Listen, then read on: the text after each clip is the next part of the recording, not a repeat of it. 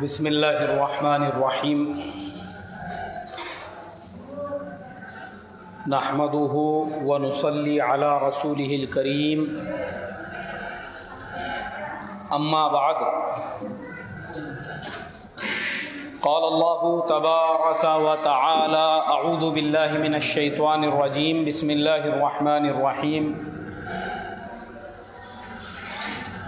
फ़स अलू अहल दिक्री इन कुन तुमला तमून सदाकल्लाज़ीम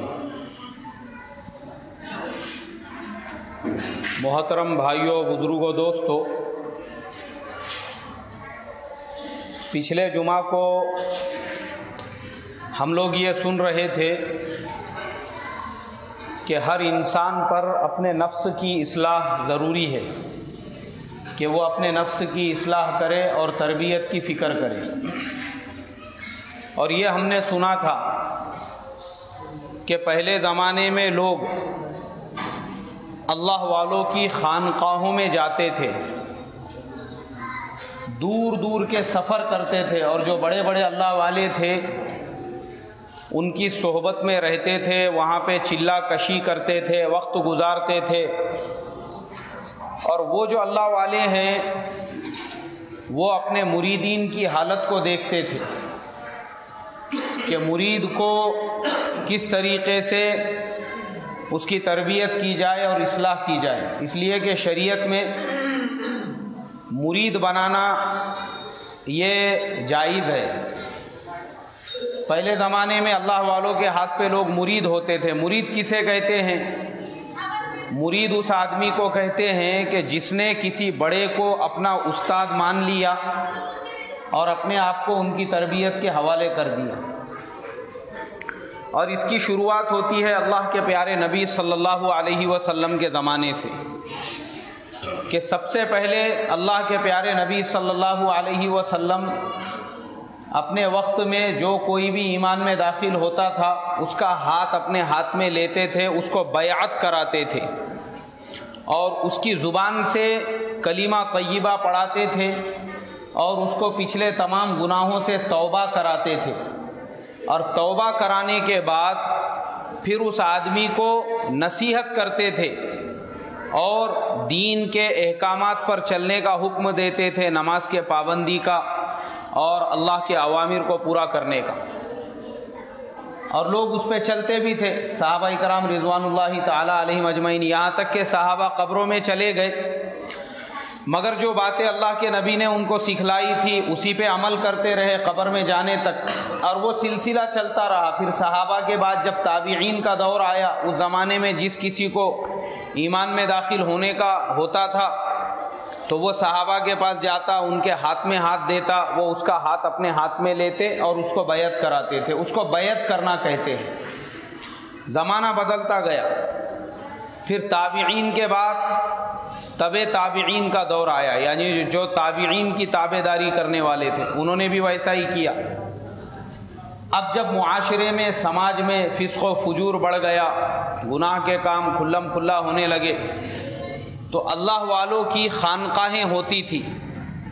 अल्लाह वाले उन खानकाहों में बैठकर उम्मत की तरबियत और इसलाह किया करते थे, जो गुनहगार होते थे, वो उनके पास आते, उनके हाथ में हाथ रखते, फिर वो उनको बयात कराते, पिछले गुनाहों से तौबा कराते और तौबा कराने के बाद में उनको एक नई ज़िंदगी गुजारने की नसीहत करते और उनको कुछ औराद वज़ाइफ तलकीन करते। ताकि उनके दिल की गंदगी दूर हो सके और दिल के अंदर अनवारात पैदा हो सके।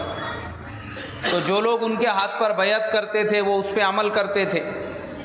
तो ये जो अल्लाह वाले होते थे, अल्लाह तबारक व ताली ने हर इल्म फ़न से इनको नवाजा हुआ होता था। अल्लाह तबारक व ताली ने इनके अंदर बसीरत, इनके अंदर हमत और इनके अंदर इल्म और ज़का, ये तमाम सिफात से वो मुतसिफ़ होते थे। तो वो अल्लाह वाले वैसे रहते थे। हमारे ज़माने में भी पीरी मुरीदी चलती है, लेकिन दो टाइप की चलती है।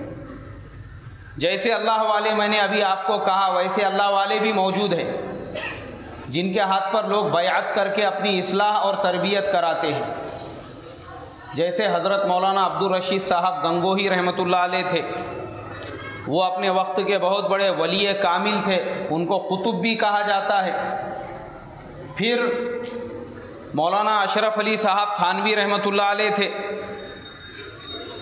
जिनको हकीमुल उम्मत कहा जाता है कि दुनिया भर से लोग उनके पास आते थे अपने नफ्स की गंदगियों को दूर करने के लिए, अपनी तरबियत के लिए, अपनी असलाह के लिए हज़रत शाह अब्दुल कादिर साहब राय पूरी रहमतुल्लाह अलैह थे।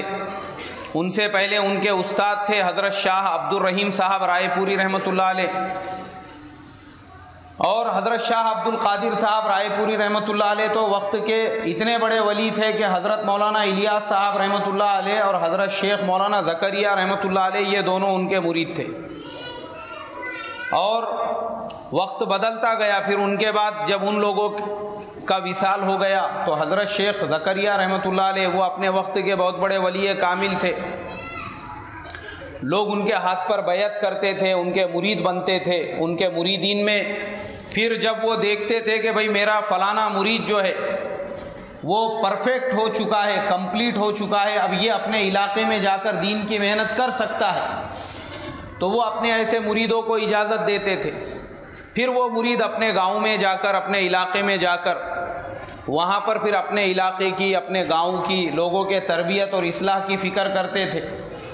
तो उसको खिलाफत देना कहते हैं। तो वक्त के साथ साथ जो है, जो बड़े अल्लाह वाले थे, वो दुनिया से चले गए, लेकिन उनके मुरीदीन बाकी रहे, फिर उन्होंने उनके काम को आगे बढ़ाए फिर हज़रत शेख ज़करिया अलैह के उस्ताद थे हज़रत मौलाना, जिन्होंने बड़ी बड़ी किताबें लिखी है और जिन्होंने अपनी सारी ज़िंदगी मज़ाहिर सहारनपुर के अंदर गुजार दी तो उनके हाथ पर भी बहुत सारे लोग बयात होते थे और वो भी लोगों को खिलाफत दिया करते थे। तो उन्हीं के खलीफा में थे हज़रत कारी सिद्दीक़ साहब रहमतुल्लाह अलैह। उनके हाथ पे मैं भी बैत था, लेकिन उनका इंतकाल हो गया तो अभी उनके बेटे हैं, जो उनकी जगह पर जो है, यही तरबियत और इसलाह का काम करते हैं। तो हज़रत मौलाना कारी सिद्दीक़ साहब बांधवी अलैह जो थे, वो आरिफ बिल्ला थे अपने वक्त के, अपने ज़माने के। उनके विशाल, दुनिया से विशाल करने के बाद में अब उनके जो बेटे हैं और उनके जो खलीफा है जो वो छोड़ कर गए दुनिया में, वो इसलाह और तरबियत का काम कर रहे हैं। फिर उनके बाद में और भी आज हमारे मुल्क हिंदुस्तान के अंदर और पड़ोस के मुल्क में और दुनिया भर में बड़े बड़े अल्लाह वाले ज़िंदा है, जो अपनी अपनी खानकाहों के ज़रिए से तरबियत और इसलाह का काम कर रहे हैं। तो ये ओरिजिनल पीर लोग हैं, ये ओरिजिनल अल्लाह वाले हैं।